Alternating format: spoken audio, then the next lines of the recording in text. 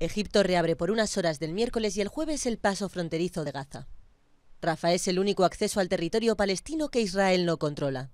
Se encontraba cerrado desde un ataque suicida que mató a 30 soldados egipcios en el norte del Sinaí hace un mes. De esta forma quieren permitir entrar a los habitantes de Gaza que quedaron del lado egipcio de la frontera. El paso estaba cerrado mientras estaba hospitalizada en Egipto, así que quedé atrapada ahí durante dos meses y medio sin dinero y sin un lugar donde quedarme. Es peligroso ahí y hay bombas. Según la ONU, más de 3.500 palestinos no podían regresar a su casa desde ese momento. Otros miles de habitantes tampoco podían salir de la franja para ir al extranjero.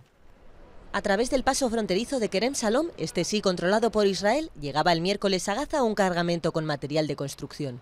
Es el segundo desde la tregua concluida hace tres meses.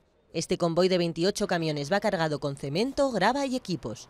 Es la mayor entrega desde el final de la guerra que hizo estragos en el enclave palestino. Durante los 50 días de contienda, 20.000 casas fueron arrasadas por los bombardeos israelíes.